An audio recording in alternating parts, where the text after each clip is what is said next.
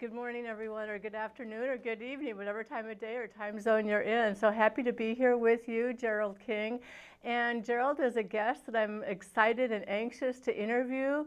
He is getting interested in working in the business of marketing and so young and handsome and has all of this future ahead of him. So I'm dying to find out. You're probably the youngest guest I've ever had, Gerald. Oh, wow. So thank you for being with me Thank today. So I'd, I want to hear your story because I'm sure that you have a story worth telling. So please, how can we start? What What is your story? How have you gotten into this business of marketing?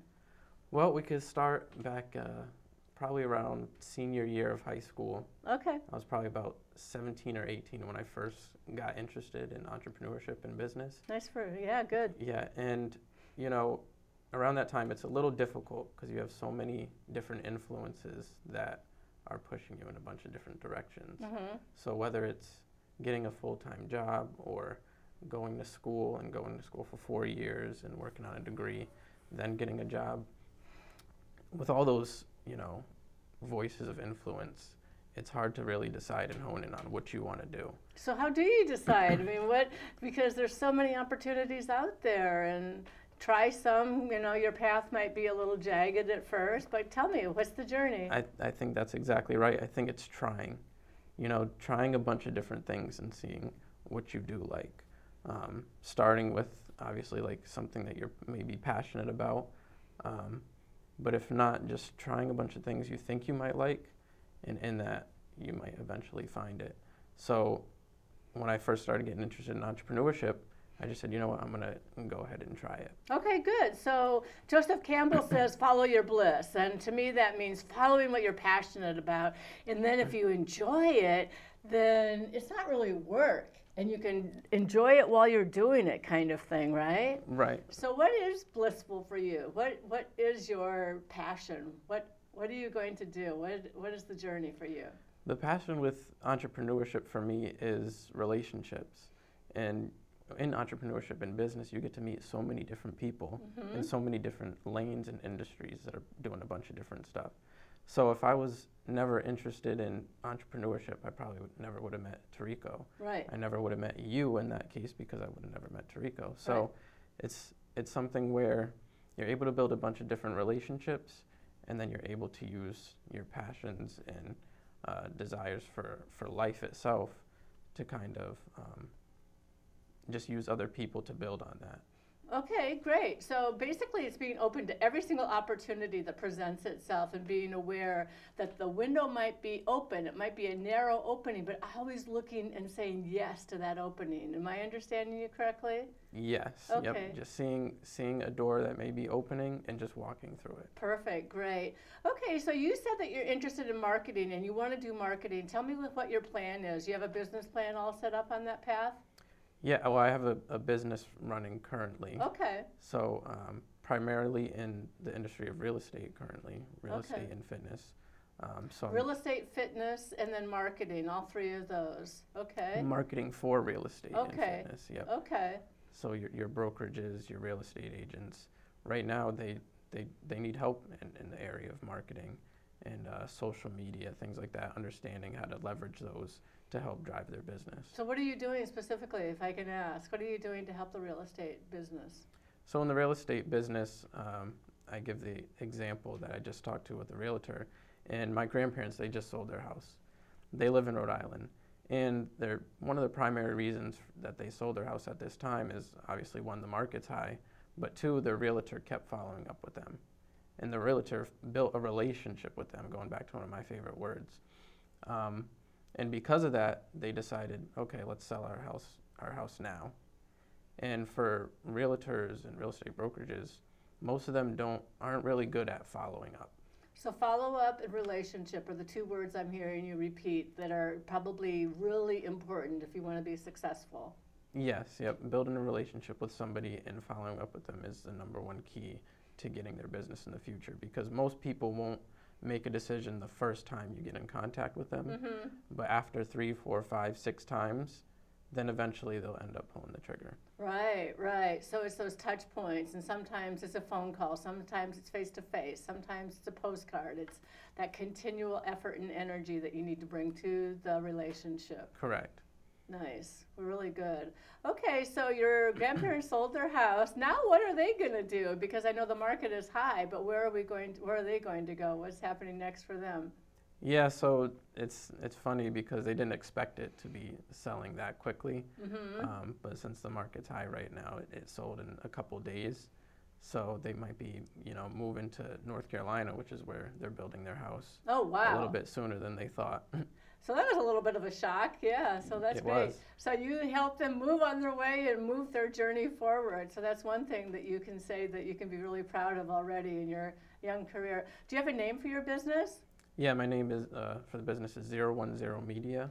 Zero one zero media. Correct. Okay. Yep, okay. So. so. if I if I Google zero one zero media, I can learn all about your work and who you touch and all of that. Yeah. the the theme of the business is really about creating your own reality, in in your personal life, but also in your business life.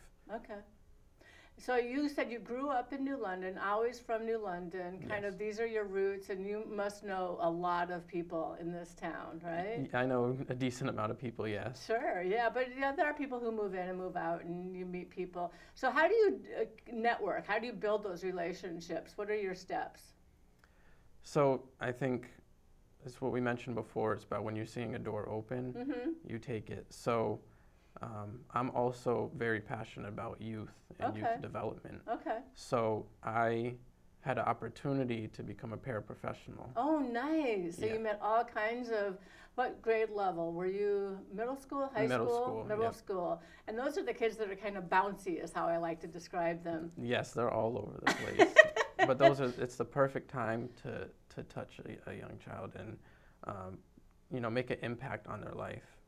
You know, because there's so many different voices in their heads that's going on, so many different influences that if you want them to become successful, you have to kind of guide them and gear them in a good direction for them. Right. So what you're doing for yourself simultaneously is what you can do and build within that young adult that how old 13 14 or not that old like 12 13 how old typically Yeah, typically around 10 to 14, but 10 to 9, 14. 9 to 13, something like that. okay okay so you're building that and helping them to understand and have uh, a good sense of balance and again that north star where they need to be looking and guiding themselves and making good choices Right, because they have passions and desires as well. of The, course the problem is they just don't know how to get there. They don't know how Mm. to reach what they actually want.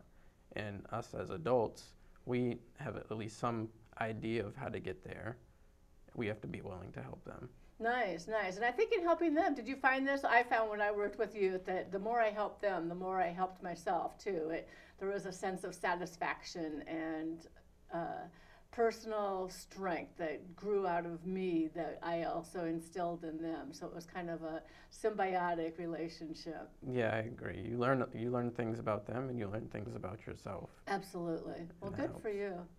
But uh, okay, so your uh, day job is uh, well, I guess it's actually you said three to eleven. Your your night job is working at EB, Yep. and so you're doing that kind of to sustain yourself probably while you explore your entrepreneurial. And the thing that I notice about entrepreneurs is the tenacity. You are so determined. You have to be so determined for what it is that you're doing. So you're marketing, you're you're constantly are you doing different meetups? How do you actually it's tough with COVID, I know. How do you meet with different people? How do you bring it out? Yeah, so it's all about what uh, the other person is comfortable with. So if they're comfortable with in person, you might have an in person, you know, social distance type meeting. Um, but now a lot of days everything is transferred over to Zoom or, or Google Meets. So it's a lot of video calls and chats, or at least phone calls and chats, to meet and speak with people about, you know, marketing and Mhm. entrepreneurship. hmm hmm So you're going to be able to develop this in so many people. Tell me more about youth, though, and the whole idea of youth. What are some things that we can do that you see that are available? Some issues with youth, and then maybe some resources. How could we link those two together?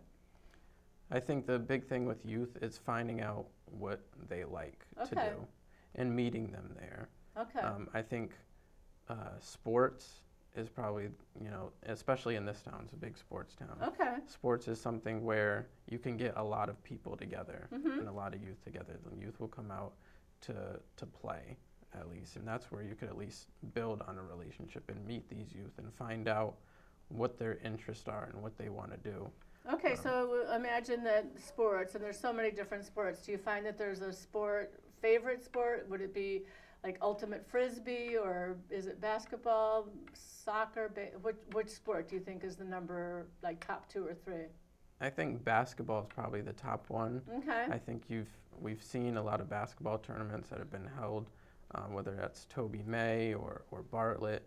Um, there's been tournaments that have been held, and a lot of people have come out to those. So that's something where you're able to see all those different youth, and you just have to work on building a relationship with them. Okay, so then the, the kids come out, the youth come out, and they're doing the sport, they're doing the basketball. Are you actually doing skill and drill? Are you helping them with uh, setting the ball up and dribbling and passing and all those activities and things that are part of it? Is that, or is it always just a tournament? Because I feel like sometimes, you know, I, I study ballet a lot, so a lot of Mhm. times it's that time at the bar where you're just working on your hand position and plies and and uh, you know your plies and releves and ballet and your uh, pirouettes, that kind of thing, your turns.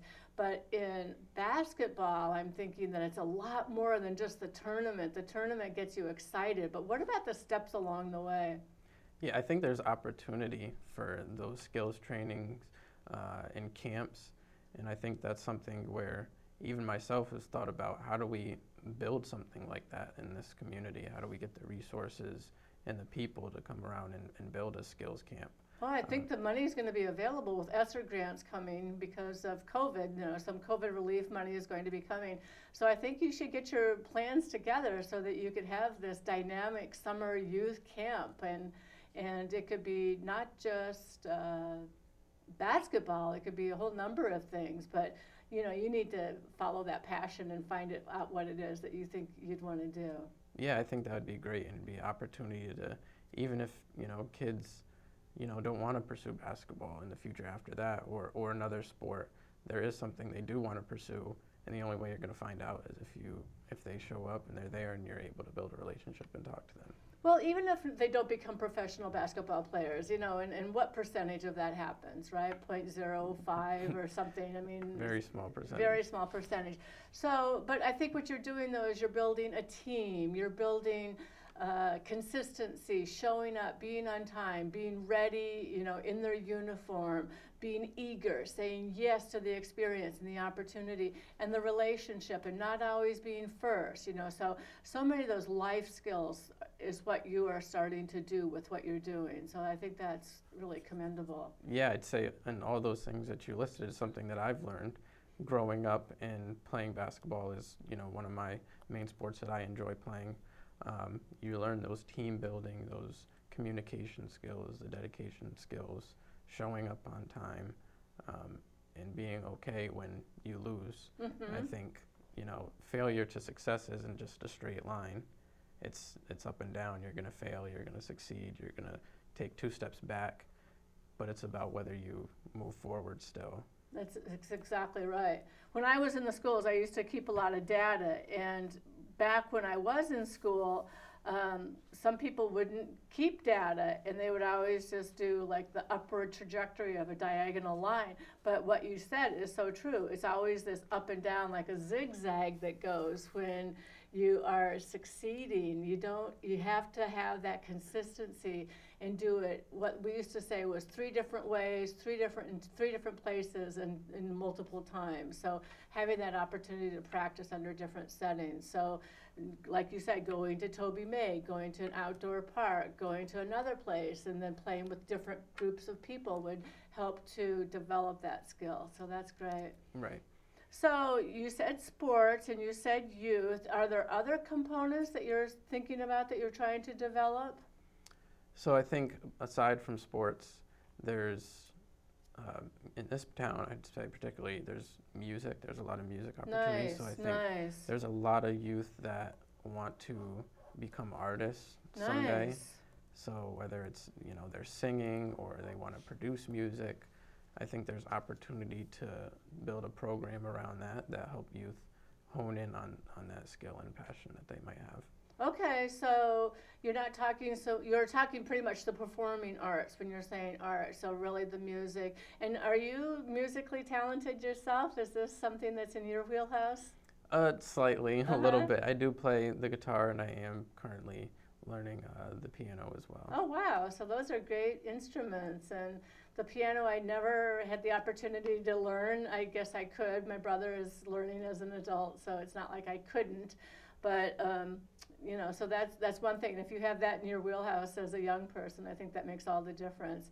And music. So basketball and guitar and singing. Are there people who can be good coaches for these paths for people who want to do this sort of thing? Yeah, I think there's there's people and there's resources out there. Um, there's a lot of musically inclined people in this area. You could just go to the, you know, the talent show and there's youth, but there's also adults that are helping those youth. So And tell me about the talent show. I don't really know about that.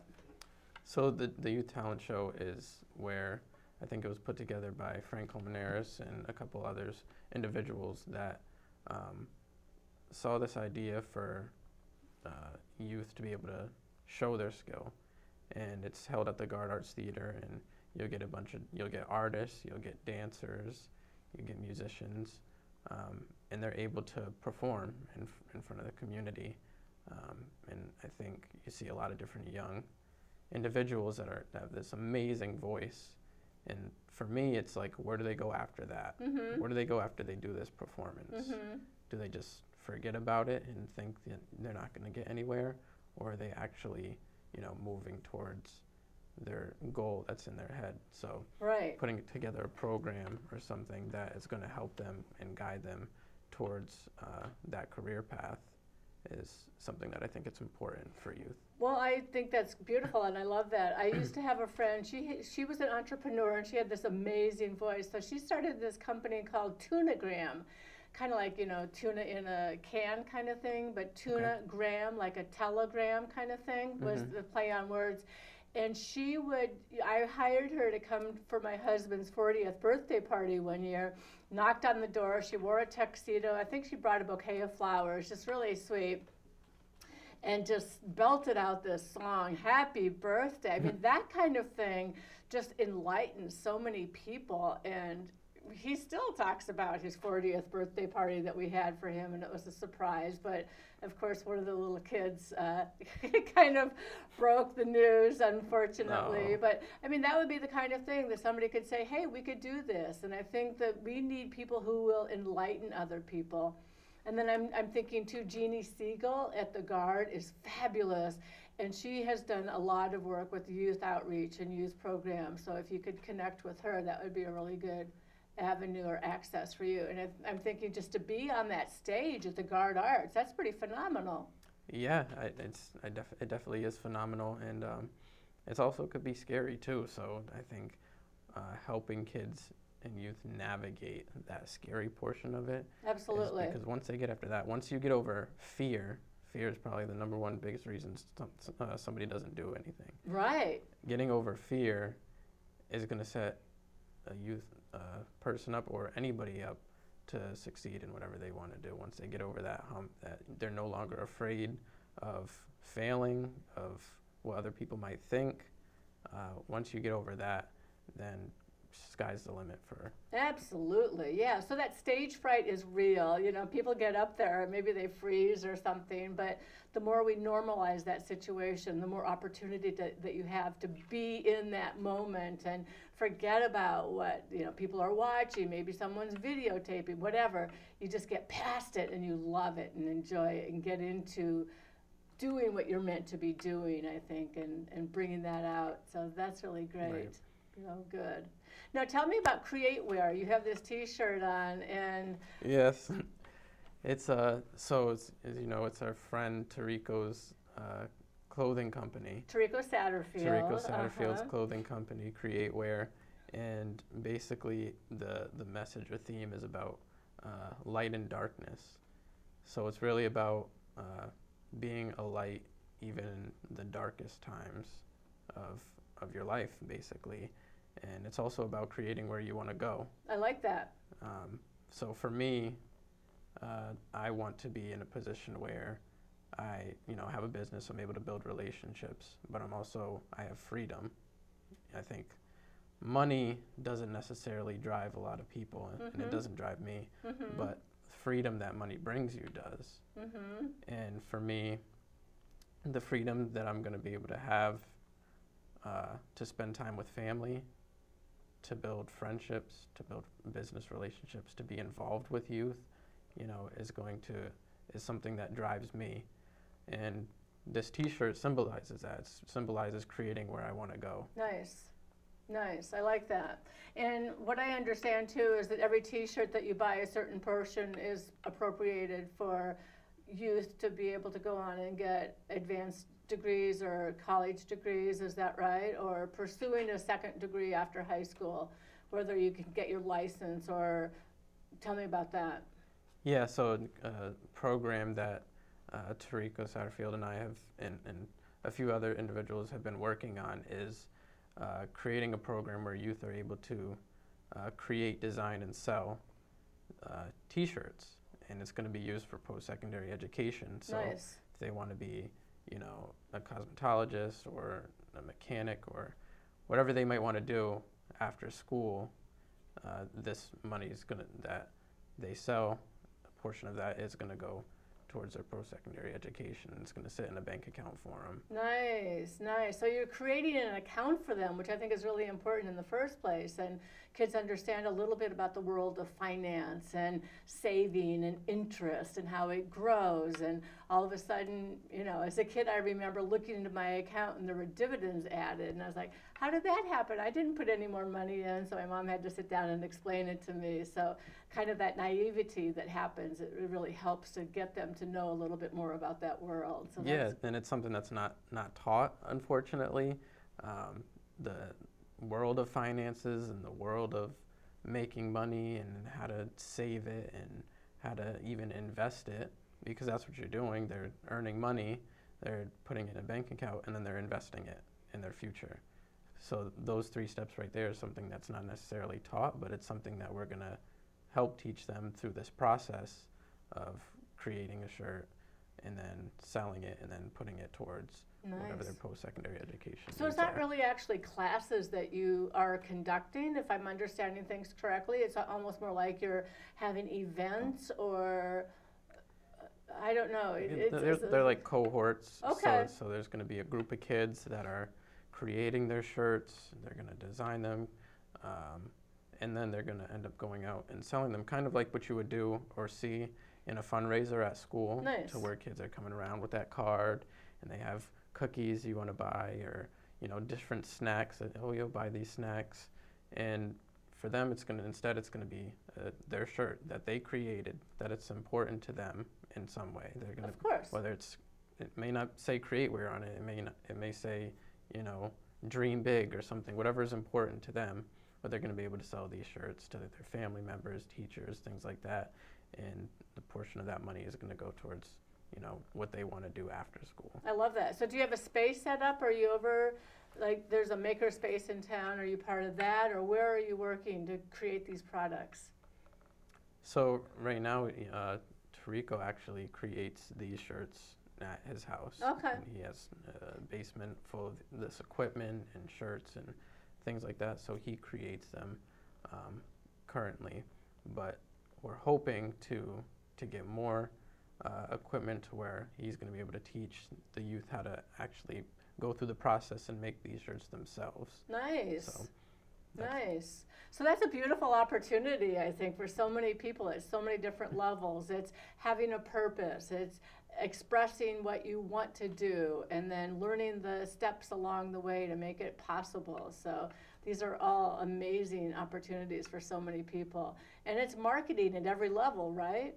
Yeah, it's everything that you do is kind of market. You're marketing yourself. You know, Mhm. you're putting yourself out there, and you're showing the world, you know, who you are. Especially with you know social media nowadays, with Facebook, posting on Facebook or Instagram, things like that. Some Mm. people may not show who they are specifically on these channels, but I think it's important to be authentic and you know actually show your true self when you're posting on social media and you're you're doing things on social media. So I think that's what draws people's attention is when not just you as an individual, but you as a business just be authentic and show you who you really are. Yeah, I was hoping you'd say that word authentic. I think it's all about being authentic and being transparent too and being open to the vulnerability that it almost takes to succeed because everybody who's been really successful has had that up and down trajectory that you talked about previously. It's never just this diagonal line that goes up and out. It's